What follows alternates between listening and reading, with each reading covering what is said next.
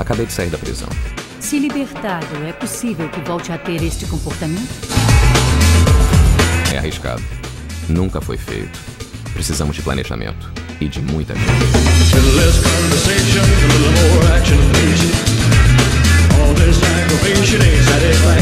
Você vai precisar de uma equipe tão doida quanto vocês. O que? Está querendo roubar um cassino?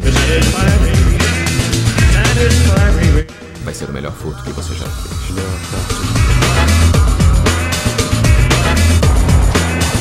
Nós vamos sair de lá com 150 milhões de dólares em dinheiro sem ninguém nos deter?